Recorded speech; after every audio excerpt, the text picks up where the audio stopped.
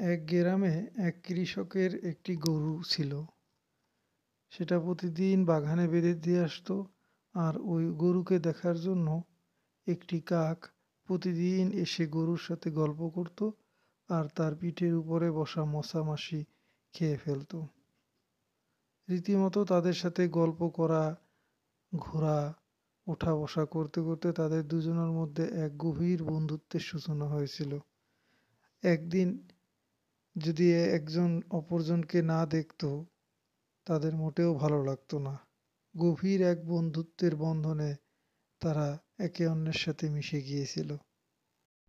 কাক ভাই, তুমি তো প্রতিদিন আসো আর তোমার সাথে আমার কথা হয়। কিন্তু একটা কষ্টের কথা কি? তোমার সাথে হয়তো আর এরকম গল্প করা হবে না, একসাথে ঘাস খাওয়া হবে না, তোমার পরিবারের খোঁজ নেওয়া হবে না। আমার সময় অনেকটা ফুরিয়ে এসেছে। এই কথা বলছো কেন গরু ভাই? কি হয়েছে? আমাকে মূল ঘটনাটা একটু খুলে বলবে? আমার মালিকের অনেক অভাব পরিবারে দেখা দিয়েছে। সে তার অভাবের যন্ত্রণায় পরিবারের সকল জিনিস বিক্রি করতে শুরু করে দিয়েছে। এমনকি বাড়িতে তার খাবারের তালাটা পর্যন্ত বিক্রি করে দিয়েছে। আমি তার শেষ সম্বল হিসাবে রয়েছি। হয়তো কিছুদিনের ভিতরে আমাকেও বিক্রি করে দেবে।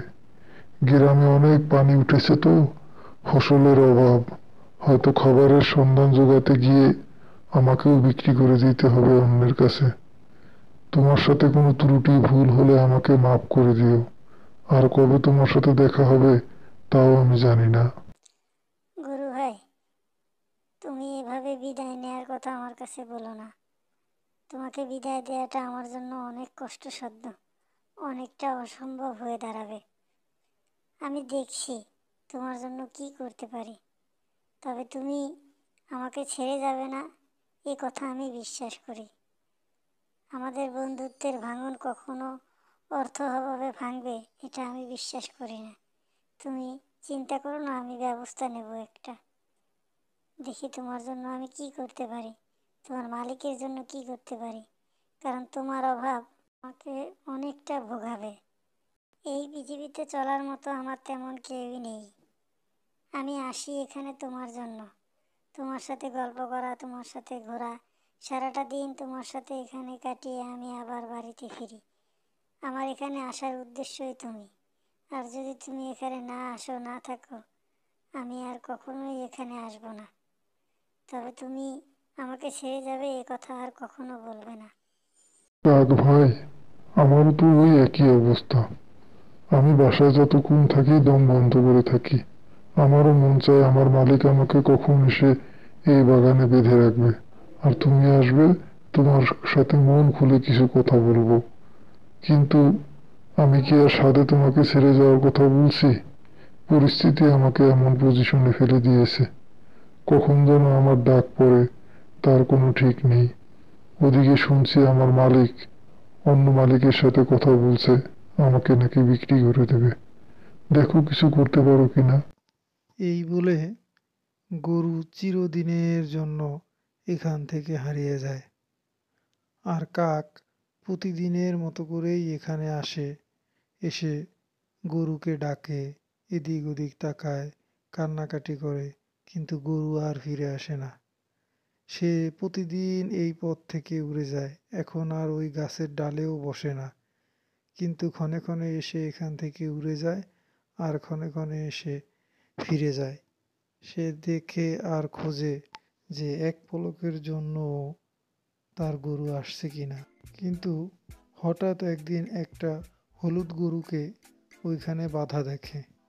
ওই মুহূর্তেই কাক ওইখানে বসে যায় এবং ওই হলুদ গরুকে নানান রকমের জিজ্ঞাসা করে এবং তার অতীতের বন্ধু তোর বন্ধুর কথা জিজ্ঞেস করে, বন্ধু সম্পর্কে জিজ্ঞেস করে, বন্ধুকে চেনে কিনা এ সম্পর্কে জিজ্ঞেস করে। হলদে গরু ভাই, তোমার এখানে তোমার মতনই সাদা আর কালো মিশ্রণ মিশ্রানো একটা গরু আসতো, প্রতিদিন আসতো। তাকে অনেক দিন হয় দেখি না এবং কাউকেই এখানে খুঁজে পাই না। অনেক দিন পর তোমাকে দেখলাম তার মতো দেখতে। তুমি কি একটু বলতে পারবে? আমার ওই বন্ধুর অবস্থা কি? সে কেমন আছে, কোথায় আছে? তাকে কেন দেখতে পাই না? সে কেন এখন আর এখানে আসে না? এই পুরনো পথ কি সে ভুলে গিয়েছে? নাকি সে তার বন্ধুকে ভুলে গিয়েছে? না, কাক ভাই তুমি তাকে ভুল বোঝো না। সে তোমাকে কখনো ভুলেনি আর তোমাকে ছেড়েও যায়নি। তার মালিক তাকে বিক্রি করে দিয়েছে। আমি তার এক স্বাস্থ্য ভাই। আমরা একই গোয়ালে বড় হয়েছি। তোমাকে পেয়ে ভালোই হলো।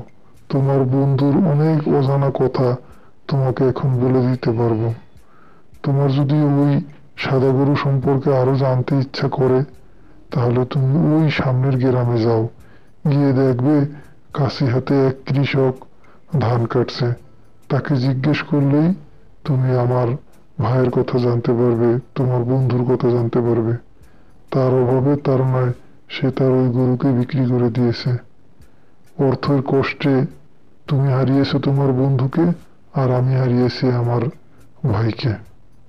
তুমি যাও, গিয়ে দেখা করো, কৃষকের কাছে কথা বলো, বন্ধু সম্পর্কে জানো। আর আমাকে একটু বলে গিয়ে যাও যে তোমার বন্ধুর কি অবস্থা? আমিও তার অনেকদিন খোঁজ নিতে পারি না। কৃষক ভাই তুমি আমার সাদা বন্ধুকে কোথায় রেখে এসেছ? কার কাছে বিক্রি করেছ? তাকে তো অনেক দিন দেখি না। আর কেনই বা তাকে আমার কাছ থেকে কেড়ে নিলে? তুমি নিশ্চয়ই সাদা গরুর কথা বলছো।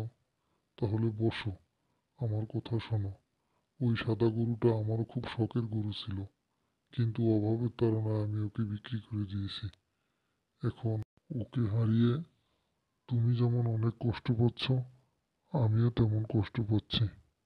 আসলে অর্থের কাছে কোনো মায়া, বন্ধনই কিছু না। অর্থ কষ্ট এমনই এক কষ্ট, যেখানে পেটের ভাত জোগাতে গিয়ে নিজের প্রিয় বস্তুটাকেও কোরবানি করতে হয়। তুমি কি করে বুঝবে? তুমি তো কাক মানুষ, তুমি আমার কষ্ট বুঝবে না। তুমি আমাকে মাফ করে দিও তোমার বন্ধুর সাথে এমন আচরণ করার জন্য। আচ্ছা কৃষক ভাই, তুমি এতটা কষ্ট পেও না। আমি বলি কি, আমার বউর কাছে একটা সোনার নেকলেস আছে। আমি সেই গহনাটা তোমাকে এনে দেই। আর তুমি ওই গহনাটা নিয়ে বাজারে বিক্রি করে যে টাকা আসে, সেই টাকা দিয়ে তুমি আমার বন্ধুকে ফিরিয়ে নিয়ে আসো।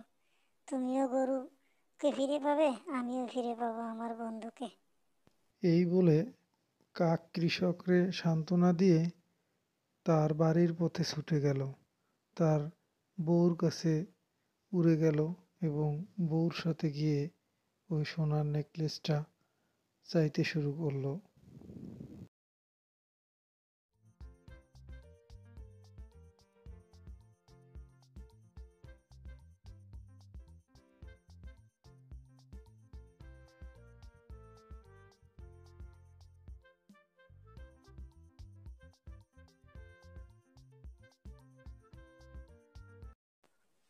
বউ শুনতে পাচ্ছ?